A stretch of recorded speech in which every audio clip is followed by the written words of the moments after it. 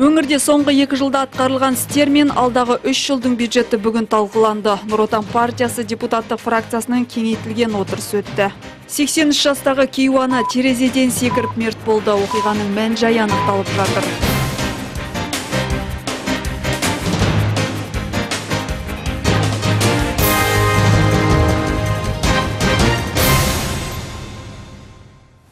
Қайырлы кеш, бүгінгі күнді қорытындылаймыз. Эфирде тәуліктің кешкі жаңалықтарымен Дастанбек Мүрсәлім.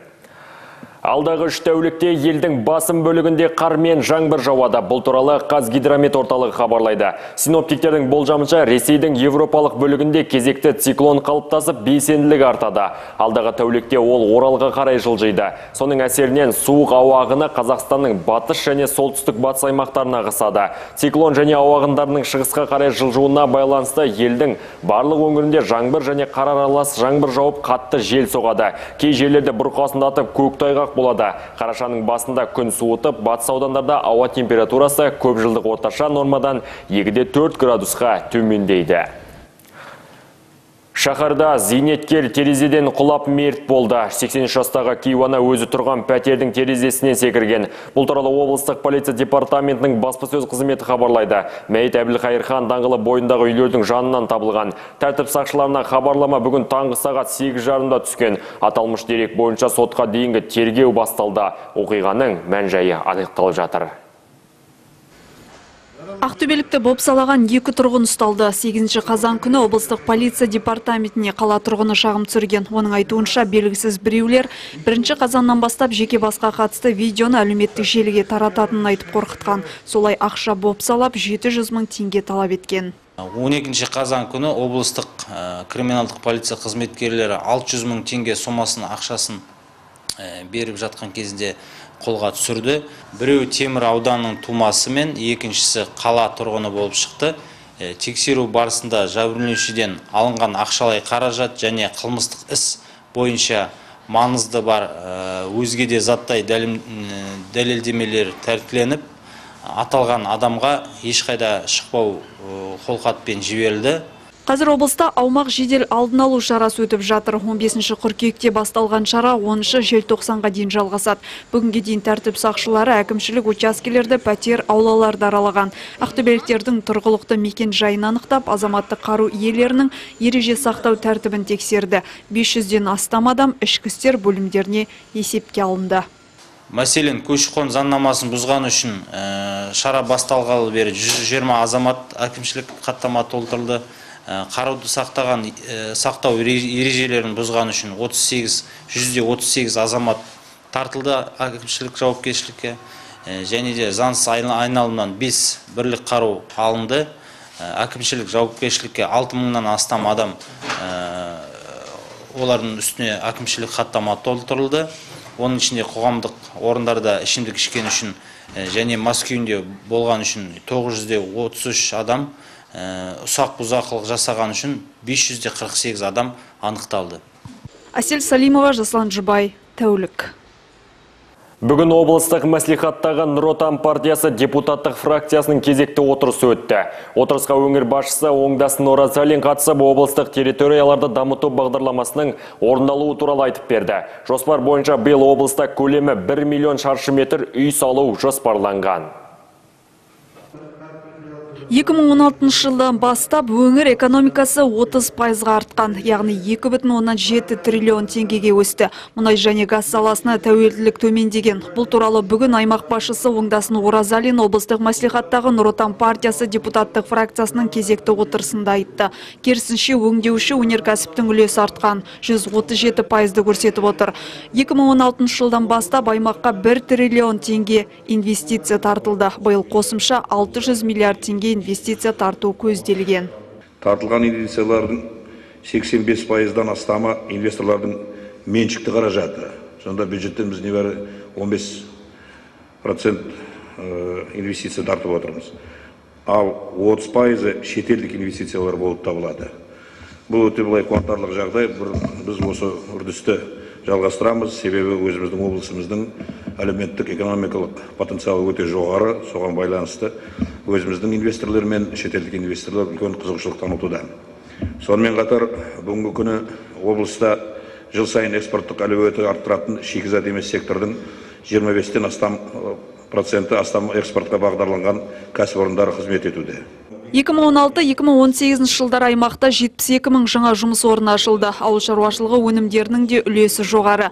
2015 жылмен салыстырғанда 120 пайызға артыпты. Былтырғы жылдың соңында облыста көкөніспен қамтамасыз ету деңгейі 93 пайызға жуықтаған. жоспарымыз бар 22-сін біз өзіміздің жергілікті бюджеттен салуымыз керек 2020 соның арқасында 2025 жылға қарай суармалы жерлердің көлемін 3,3 есеге э, 100 мың гектарға дейін арт- арттыруға жоспарланып отыр. Өңірде шағын және орта бизнесті дамытуға ерекше көңіл бөлінуде. Бүгін шамамен 60 мың 60 мыңға жуық шағын орта бизнес субъектілері өз қызметін жүзеге асыруда. Өзіміздің облысымызда олар 144 мың ақтөбеліктерді жұмыс орындарымен қамтамасыз етеді және 9 миллиардқа теңгеге жуық өнім шығарады. Облыс әкімі Оңдасын Оразалиннің сөзінше өңірде инфрақұрылым белсенді дамып келеді. 2016 жылдан бастап 3 миллион шаршы метрге жуық тұрғын үй салынды. Биыл тағы 1 миллион шаршы метр үй салу жоспарда бар. Жол саласы бойынша атқарылған істер де бүгін депутаттардың алдында айтылды. 2016-2018 жылдары аймақта 800 шақырымнан астам жол салынып жөнделді. Жыл соңына дейін 500 шақырым жол жөнделіп болуы тиіс. келесі жылы өздерің білесіңдер мына соңғы премьер-министрдің іссапарының арқасында э, біраз э, өзіміздегі тұрған жоспарларымызды ұсынған уақытта э, қолдау тауып жатқаны мына ақтөбе қандыағаш жолын э, кірісуге э, ақтөбе орск жолын аяқтауға оңтүстік айналма жолды аяқтап сосын шалқар базой жол учаскелерін жөнделуге толық қолдау тауып соған біз кірісейін деп жатырмыз. Үкіметпен бірлесіп ақтөбе хромтау қарабұтақ ұлғайсын орталық батыс жобаларды пысықталатын болады Биыл үш аудан мен облыс орталығында төрт жоба іске асса, өңір тұрғындарының 95 пайызы ауыз сумен қамтылады. Ол үшін 3,6 миллиард теңге бөлінген. 90 пайызға жуық ақтөбелік көгілдір отынмен қамтылады деп жоспарланып отыр. Жуырда республикалық бюджеттен 2,5 миллиард теңге бөлінген. Қазір газ құбырын тарту жұмыстары Әйтеке би, Ырғыз, Қобда, Алға аудандарында жүргізіліп жатыр. Оған қоса облыста 11 мектептің құрылысы жүріп жатыр деді аймақ басшысы. Жыл соңына дейін тағы 5 білім мекемесі пайдалануға беріледі. 5-6 миллиард теңге бюджеттік кредиттерді өтеу, 1-4 миллиард теңге өтеу тұрған бюджеттердің түсетін трансферттер. Облыстық бюджеттің шығыстары 225 миллиард теңгені құрайды. Облыс шығындары 116-да 3 миллиард теңге. Республикалық бюджеттің кірістері 64-те 6 миллиард теңге. Аудандарға субвенциялар 38-де 5 миллиард теңге. Республикалық бюджетке кредиттерді өтеу 5-те 6 миллиард теңге. Гүлқасима Сүйентаева 2020-2022 жылдарға арналған облыстық бюджеттің жобасы туралы айтып берді. Білім саласына алда 41,2 миллиард теңге облыстық бюджеттен қарастырылған. Оның 13 миллиард теңгеге жуығы мұғалім педагогтардың еңбек ақысын арттыруға жұмсалады. 1,5 миллиард теңгеден астам қаржы 8 арнаулы түзету мекемесіне бөлінеді. Тағы 1,6 миллиард теңге 15 мектепті жөндеуге бөлінуі мүмкін. Денсаулық саласына да аз қаржы бөлінбейді. Облыстық бюджеттен 5,8 миллиард теңге, республикалық бюджеттен 4,9 миллиард теңге қарастырылып отыр. Дәрі-дәрмек, екпелер сатып алуға, перинаталдық орталық пен медициналық бөлімшелер салуға да жұмсалады. Әсел Салимова, Жаслан Жұбай, Тәулік. Бүгін облыстық әкімдікте міндетті әлеуметтік медициналық сақтандыру жүйесін енгізу мәселелері бойынша өңірлік штабтың отырысы өтті. Онда жүйені енгізуге дайындық, аймақтық штаб тапсырмаларының орындалу барысы, облыс тұрғындарының мәртебесін нақтылауға қатысты қазіргі ахуал айтылды. 2020 жылдың бастап міндетті әлеуметтік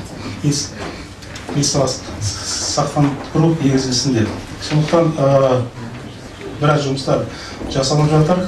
Қазіргі күнде а, барлық қажетті нормативтік база қабылданды. А, міндетті әлеуметтік медициналық сақтандыру туралы заң қабылданды. Қажетті өзгерістер а, кодекске енгізілді. Халық денсаулығы мен денсаулық сақтау жүйесі туралы кодексіне денсаулық сақтау министрінің қажетті бұйрықтарының бәрі қабылданды. 2020 жылдың бірінші қаңтарынан бастап елімізде міндетті әлеуметтік медициналық сақтандыру жүйесі енгізіледі.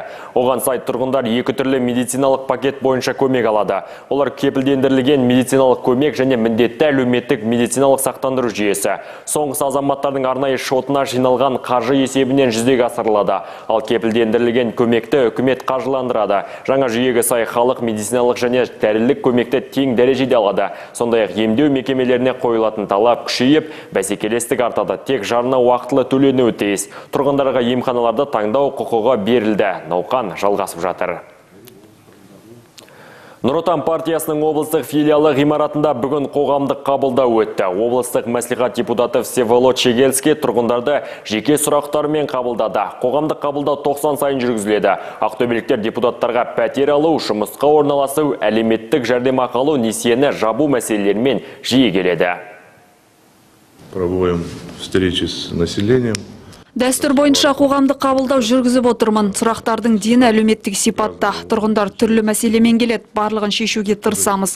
Қолымыздан келсе, осы жерде мәселені шешеміз. Болмаса сәл күте тұруларына тура келеді. Дегенмен келген тұрғынның мәселесін аяқсыз қалдырмауға тырысамыз. Бүгін ғана облыстық бюджетті жоспарлау бойынша жиын өтті. Әлеуметтік салаға қаржы жақсы қарастырылған. Облыстық Нұротан партиясының аймақтық және аумақтық филиалдарының қоғамдық қабылдау бөлмелеріне жыл басынан бері 2500-ге жуық өтініш түскен. Оның 1100-ден көбі нақты оң шешімін тауыпты. 1200-ден астам өтінішпен келген тұрғынға заң бойынша кеңестер берілді. Тағы 127 өтініш қаралып жатыр. Бүгінге дейін партия мүшелері 888 қоғамдық қабылдау өткізіп, 4900-ге жуық тұрғынды қабылдаған. Қазақстан мектептерінде күнделік жүйесін міндетті түрде қолдануды тоқтату керек. Бүгін мәжілістің отырысында депутат Кеңес Әпсәтіров осындай талап қойды. Тиісті депутаттық сауал вице-премьер Бердібек Сапарбаевтың атына жолданды. Ақжол партиясының фракциясы бұл жүйені қолдану бойынша педагогтар мен ата-аналардың пікіріне құлақ асу керек деп есептейді. Күнделік жүйесі елдегі барлық мектептер кең жолақты ғаламтормен қамтамасыз етілмейінше шегерілуі керек делінген сауалда. Ел және шетелдегі өзге де ақпараттар легі келесі топтамада. Мәжіліс 2004 жылдың 22 желтоқсанындағы Қазақстан үкіметі мен Ресей үкіметі арасындағы Байқоңыр ғарыш айлағында бәйтерек ғарыш зымыран кешенін құру жөніндегі хаттаманы ратификациялау туралы заң жобасы бойынша жұмыс бастады. Хаттамаға 2018 жылдың 22 тамызында Мәскеуде қол қойылды. Хаттама ережелеріне сәйкес ресейлік тарап қаржыландыру мен зымыран тасымалдағышты құруды қамтамасыз етеді. Ал Қазақстан жағы Байқоңыр ғарыш айлағының қолданыстағы жер үстіндегі ғарыш инфрақұрылымын жаңғыртуды қаржыландыруды іске асырады хаттама зенит м нысандарын арендадан шығаруды және оларды қазақстандық тарапқа өткізуді орта санаттағы зымыран тасымалдағышқа көшуді сондай ақ ұшыру сынақтарын 2022 жылы бастауды қарастырады деді мәжілістің экология мәселелері және табиғат пайдалану комитетінің төрағасы глеб щегельский палатаның жалпы отырысында. Комитет заң жобасы бойынша қорытындыны 2020 жылдың 30 қыркүйегіне дейін әзірлемек. Астана форматындағы келіссөзге кепіл елдер Сирия аумағындағы лаңкестіктің барлық түріне қарсы күресуге шешім қабылдады. Иран, Ресей және Түркияның үш жақты кездесуі Женевада өтті. Үш елдің сыртқы істер министрлері Сирияның конституциялық комитеті құрылып, бүгін Женевада бірінші кездесу өткізіп жатқанын құптады. Кепіл елдер қабылдаған мәлімдемеде тараптар Сирия аумағындағы барлық сириялық тұрғынға гуманитарлық көмек көрсетуді ұлғайту мақсатында саяси реттеудің ауқымын кеңейту қажет екенін атап өтті. Бүгін Женевада конституциялық кеңестің мүшелері 150 сириялық жиналды. Олар өз елдерінің конституциясының жобасын Женевада жасап шығармақ.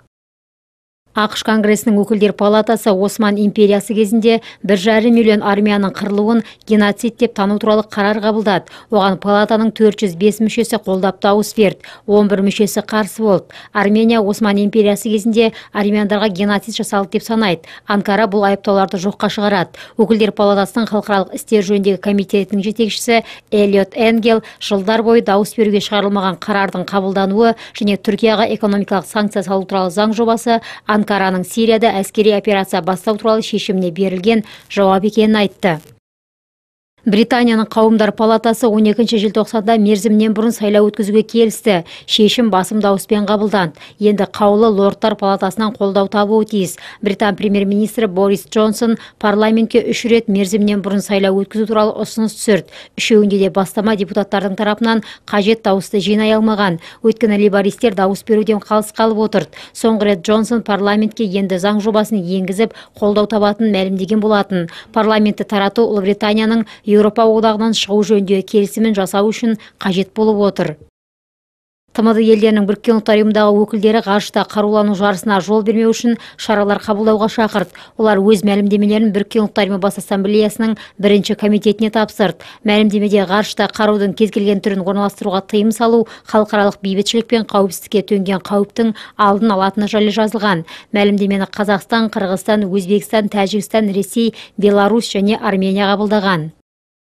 Өзбекстаннан қазақстанға 20 келден астам героин өткізбек болғандар ұсталды. Арнайы операцияны өзбекстанның мемлекеттік қауіпсіздік қызметі жүргізген. Тәжікстан азаматы есірткіні контрабанда жолымен өзбекстанға кіргізіп ташкентте тұратын танысының үйінде сақтаған. Өзбекстанның арнаулы қызметтерінің деректері бойынша есірткі транзитін ұйымдастырған қазақстан азаматы түркістан облысының тұрғыны. Ол өзбекстанның сырдария облысының айналма жолы арқылы елімізге есірткі кіргізбек болған жерінен ұсталды. Сараптама нәтижесінде айғақ ретінде алынған зат героин екені анықталды. Салмағы 20 келі 32 грамм. Тәркіленген есірткінің бағасы шамамен 300 мың ақш долларына тең. Дерек бойынша қылмыстық іс қозғалып тергеу жүріп жатыр.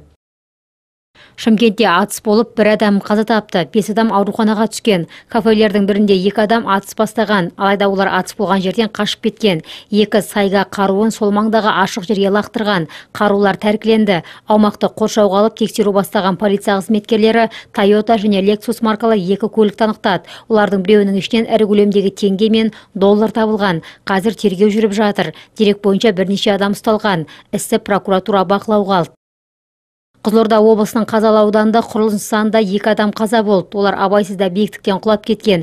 Олардың бірі оқиға орнында көз жұмса екінші жұмысшы ауруханада қайтыс болған. Қайғылы оқиға қазалы ауданының орталығы әйтеке кентіндегі құрылыс нысандарының бірінде болды. Дерек бойынша қылмыстық іс қозғалып тергеу жүріп жатыр. Алматы облысы әкімінің орынбасары бағдат манзоровты ұстағаны үшін сыбайлас жемқорлыққа қарсы іс қимыл агенттігінің қызметкерлері тәртіптік жауапкершілікке тартылуы мүмкін. Бас прокуратура тиісті ұсыныс жолдаған. Бұл туралы бүгін бас прокурордың орынбасары марат ахметжанов мәлімдеді. Ахметжановтың түсіндіруінше қылмыстық жағдайдың болмауына орай манзоровқа қатысты қылмыстық іс тоқтатылды. Осы істі қозғаған және оны тергеген органға ұсыныс енгізілді. Аталған адамға қатысты қылмыстық іс тоқтатылғанын ресми түрде мәлімдеймін деді марат ахметжанов. Естеріңізге сала кетейік қыркүйек айында алматы облысы әкімінің орынбасары бағдат манзоров ұсталған болатын. Кеше оған қатысты іс тоқтатылғаны хабарланды.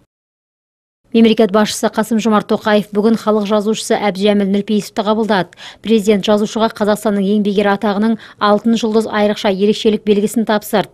Қасым жомарт тоқаев көрнекті жазушының ұлттық әдебиетіміздің әлемдік деңгейге көтерілуіне қосқан елеулі үлесіне тоқталып қазақ әдебиетінің абызын 95 жылдық мерейтойы қарсаңында еліміздегі жоғары наградамен марапаттағанын атап өтті. Қаламгерге зор денсаулық ұзақ ғұмыр шығармашылық табыс тіледі. Арнамызда шағын жарнама жаңалықтарымыздың келесі бөлімінен көретіндеріңіз. Елдің батысында анестезиологиялық қызметтің негізін салуша Қызыл Жаңабаевты әріптестері еске алды. Облыстық жедел жәрдем ауруханасының қабырғасына мемориалда тақта орнатылды. Нұрақтөбе ауданының оқушылары баратын шығармашылық орталық ашылды. Орталық мектептің жер төлесінде орналасқан.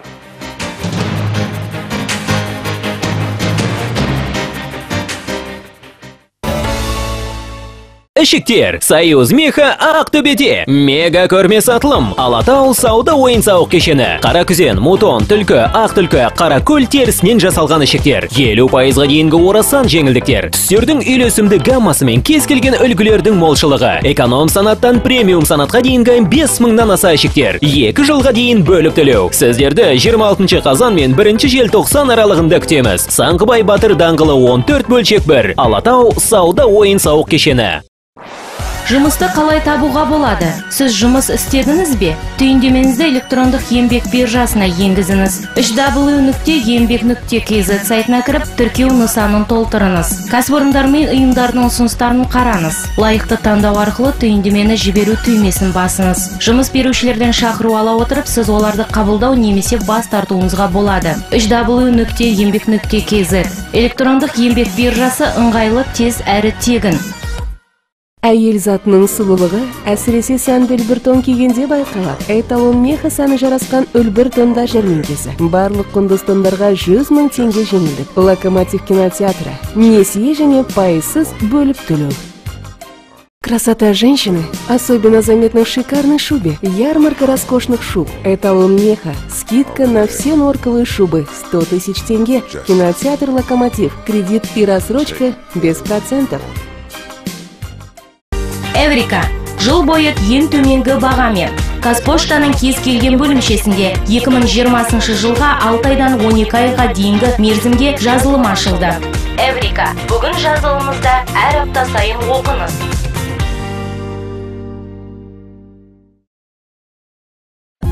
Радионы онлайн тыңда. Сүйікті радиостанцияңды тыңда. Өз телефоныңнан қалаған жерде. Ақтөбе радио онлайн тыңдаңыз. үш w ақтөбе радио kz сайтында. Ақтөбе радио kz сайтында.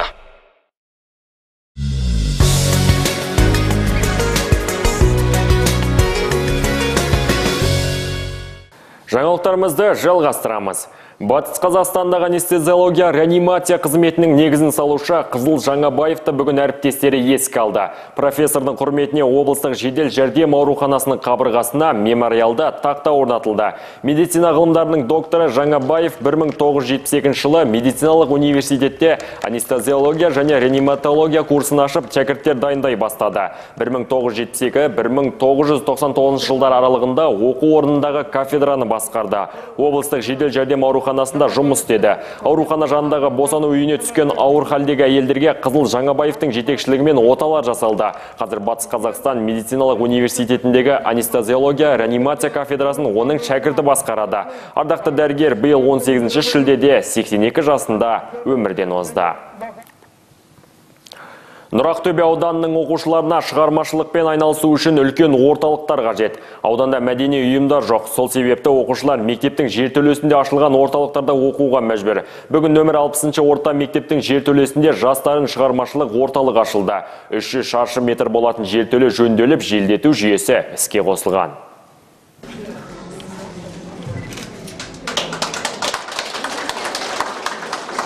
Толқын Жакешева нөмірі 60 орта мектепте 8 сыныпта оқиды. 7 жылдан бері би үйірмесіне қатысатын оқушы осы уақытқа дейін мәжіліс залында талай би қимылдарын жаттаған. Толқынның айтуынша биге қатысқысы келетін қыздар өте көп, бірақ күнде көркейіп келе жатқан аудандарда шығармашылық орталықтары жоқ. Мектептегі үйірмелер мен бір ғана геолог мәдениет үйі өнерпаздар үшін аз. бұрын біз актовый залда дайындалдық қазіргі осы бидің би үйірмесінің би залының ашылғанына өте қуаныштымыз. Балаларға бидің біздің күнделікті дайындалуымызға көп мүмкіндіктер бар. Сол өте қуаныштымын. Әрбір баланың өзінің бір бойындағы талантын әрі қарай дамытқаны ол жақсы. Сондықтан мен де өзімнің ауданымда сондай академия ашылғанын қалаймын әрине. Оқушының уәжін ағайы да қостады. Нөмірі 60 орта мектептің ұстаздары бұл олқылықтың орнын толтыруға өз беттерімен кіріскен. Себебі екі жылдан бері өнерлі жастардың дайындалатын бөлмелері болмапты. Оқушылар шығармашылыққа бос бөлмелер мен спорт мәжіліс залдарын пайдаланып келген. Математика, сауат ашу, ағылшын сияқты пәндерден класс жетпегендіктен класс кабинеттері, оқу кабинеттері осында осындай орталықты ашуға мәжбүр болдық. Бұл жақта барлық санитарлық эпидемиологиялық жағдайлар қарастырылған. Желдеткіш желдеткіш яғни вентиляциялық жүйелер қарастырылған. Сабақ біткен бойда вентиляциялық жүйелер қосылып олар тоққа жалғанған қосылып ауа тазартылып тұрады. Тезгіші жоқтың орнын осылай компенсировать етіп отыр.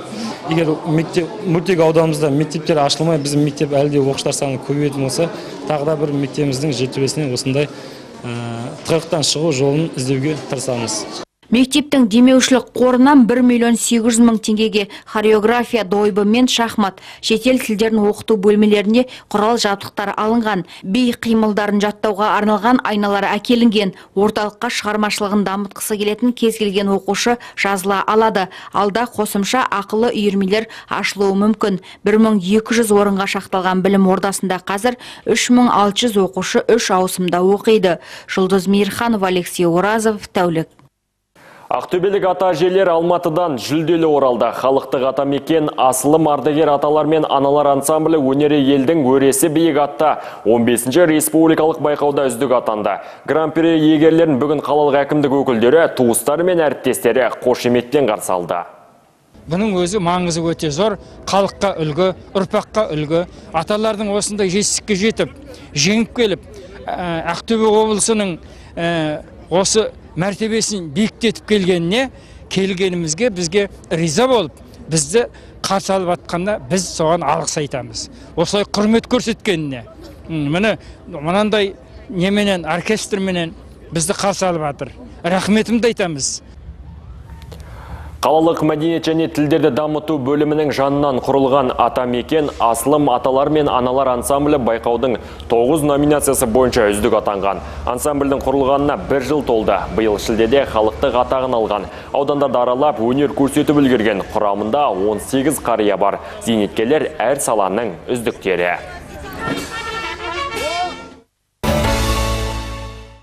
Зимнисад мейрамханасынан керемет тосын сый. Енді біз тек қана шығыс тағамдарын ғана емес, өзіміз әзірлеген ұн тағамдарын да ұсына аламыз. Жұп-жұмсақ пирог, бөлкелер, дәмді тоқаш пен бәліштер.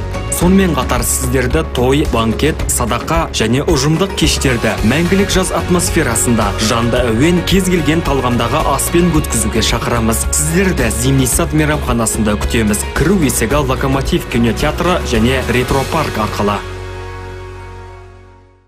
Шубы «Союз меха» в Актобе. Мега-выставка продажа. Торгово-развлекательный комплекс «Алатау». Шубы из норки, мутона, лисы, песца, каракуля. Грандиозные скидки до 50%. Широкая цветовая гамма и изобилие фасонов. Более 5000 шуб от эконом до премиум класса. Рассрочка до двух лет. Ждем вас с 26 октября по 1 декабря по адресу проспект Санкибай-Батыра, 14, дробь 1. Торгово-развлекательный комплекс «Алатау».